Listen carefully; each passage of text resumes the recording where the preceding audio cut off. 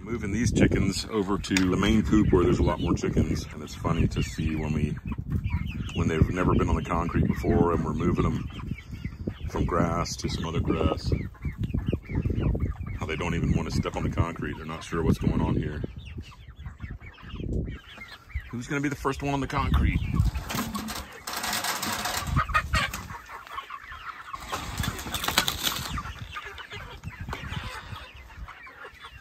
A couple of them. That's so funny. It's lava. They're doing the lava game. Don't stand in the lava.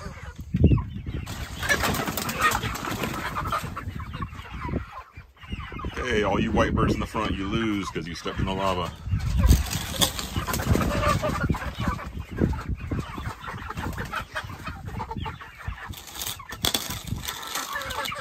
You're the winner. Standing up here on the perch was the right idea.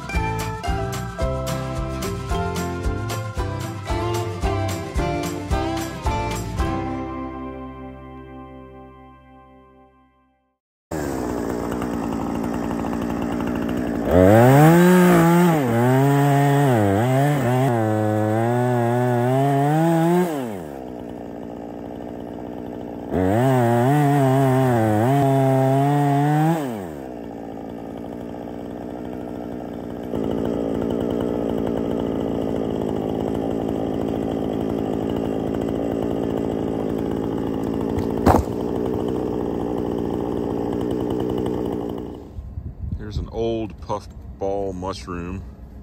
It's turned purple. Kind of cool. Um, so that's the spores coming out.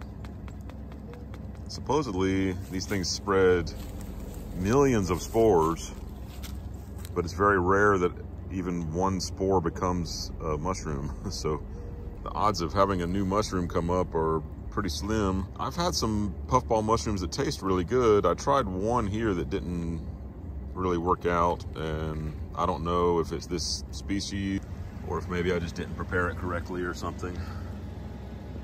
I'm trying to work ahead of the rain. It's supposed to be raining today. We cut down this tree yesterday and I'm trying to get it all cleaned up. I'm using a lot of the wood in the raised beds in the backyard and then some of it's going to future firewood. So I might bring the splitter out here and split all this up before I move it because they're pretty heavy. Right now I'm just taking branches down to the field and putting them in the pile for a future fire. What do you think? Do you think it's possible to make an igloo out of branches?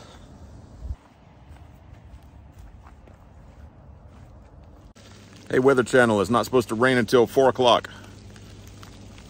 I don't know what time it is, but it's only something like two. Usually put all this kind of stuff on video. I did show a real quick clip of cutting the one tree out in the yard. But this tree right here, this one, uh, if you remember from videos, is was a really big evergreen tree. And uh, it was kind of blocking our view from the house it's really opened it up now where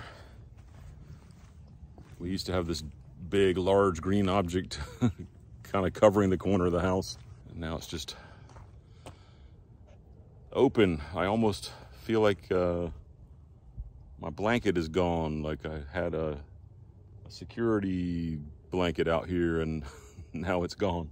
Also, the uh, power company came and cleaned up the trees along these power lines as well as the short trees. There were trees anywhere from, well, there was just brush and then trees going up to maybe 10 feet tall and all that is gone now. It's, uh, it's a lot more open around the house. It's also open into those trees. You can really see down into those trees now. I think we had some deer that would bed down kind of over here in the trees, kind of where these swings are. And I don't know, I don't know if they'll still bed down there out there or not.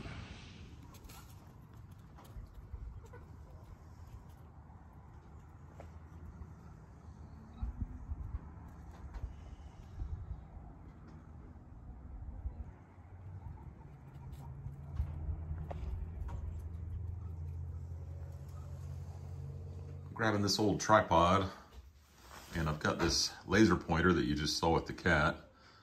That's uh, This is meant for pointing out stars and stuff in the sky. Never pointed at an airplane. um, so I'm gonna use this. I've been wanting to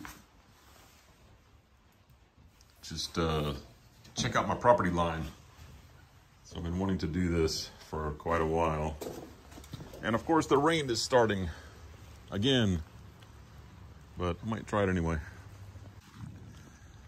So I'm out here at the street and I know that uh, when they did the survey, they put that marker in the street. Looks to me like I'm lined up pretty much on the center of that cedar tree. So I set up my tripod on the opposite side. And now I'm gonna try to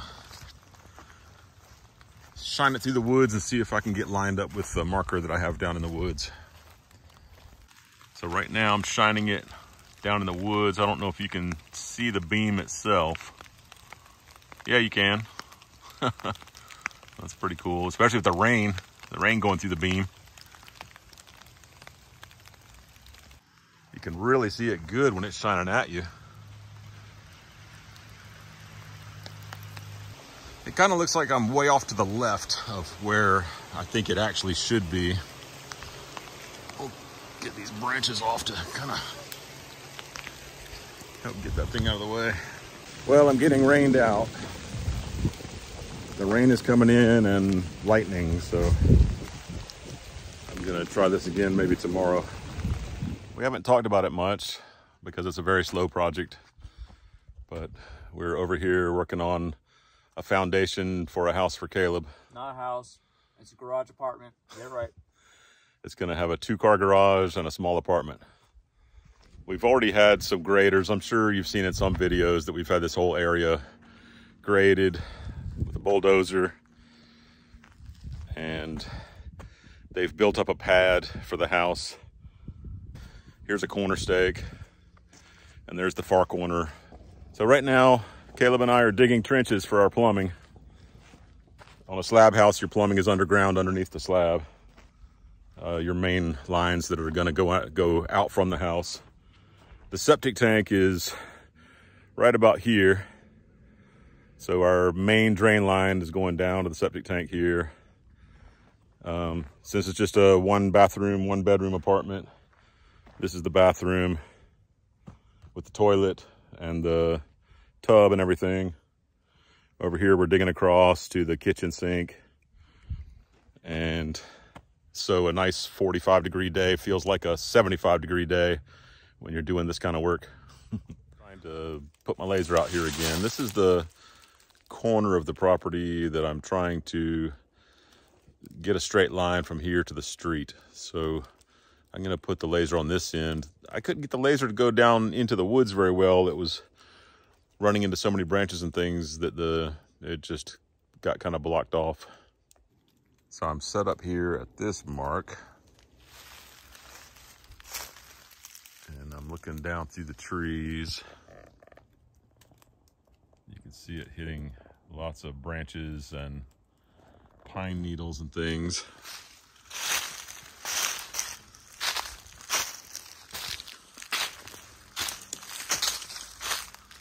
kind of neat to see just that laser just touching one little branch or whatever. Now, over here I'm running dead square into a tree where that's blocking me from going any further.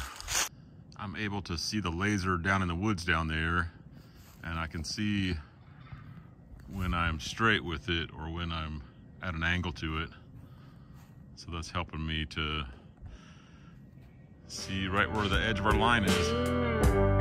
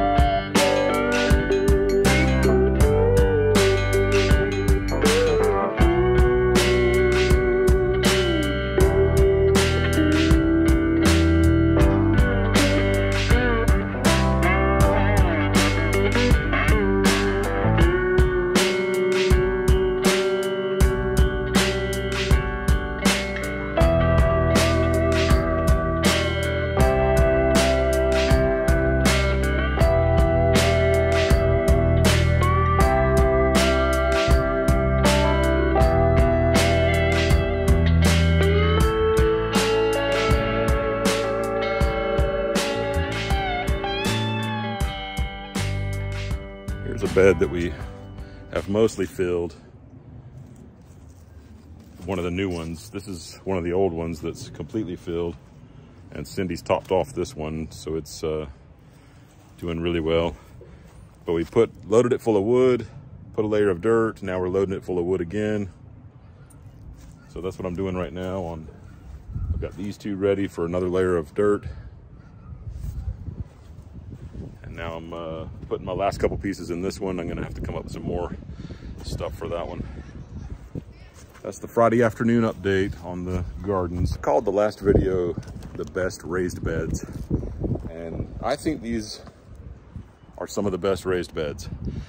Um, but I didn't really talk about them. I kind of just showed what I was doing. This is culvert material, which is a pipe that you would bury in the ground to let a creek go through a property or uh, to have a driveway that crosses a little river or creek or something um, or needs a lot of drainage. And I've cut it into segments that are 36 inches tall so I ordered it the size that I wanted it so that I could get seven beds that were all 36 inches tall. So that 36 inches is like a kitchen counter height. And by doing it at that height, it's very comfortable. Your back is not hurting. Of course, you're not gonna grow really tall tomato plants in here. Um, you just grow those somewhere else. But this will be for herb gardens, um, maybe greens like lettuce, uh, kale, and things like that. Um, but it's a, uh, in permaculture, you would call this zone one. It's your closest garden to your home. This uh, galvanized steel is, uh, you know, you can see the rust on this edge, maybe. Um, it is a regular steel, but it's coated with uh, galvanized coating. So where I cut it, I've revealed the steel and you get a tiny bit of rust there. Um, but here it's protected from rust. And these should last 25 years or more. So this, I would call this a lifetime raised bed. You're not gonna have to worry about uh, your wooden raised beds that want to rot and fall apart and have to be rebuilt every two to five years. Um, I think the only thing better than this would be concrete. But what, another nice thing about this is how thin it is. If I make a concrete wall, that's keeping me an extra four inches or five inches or six inches away from my garden. This, I could have a plant right here beside my hip. You know, it's, it's so nice and convenient that it's close like that. When you're doing a small garden bed like this, it really does matter um, how much, how close you are and, and how far you can reach. I can lean just a little bit and I can reach the middle of the bed and that's important. If you're familiar with square foot gardening, they make four by four uh, planting areas because you need to be able to reach the center of your garden without walking on it. And that way you don't trample down your soil and make it compacted where it won't grow things.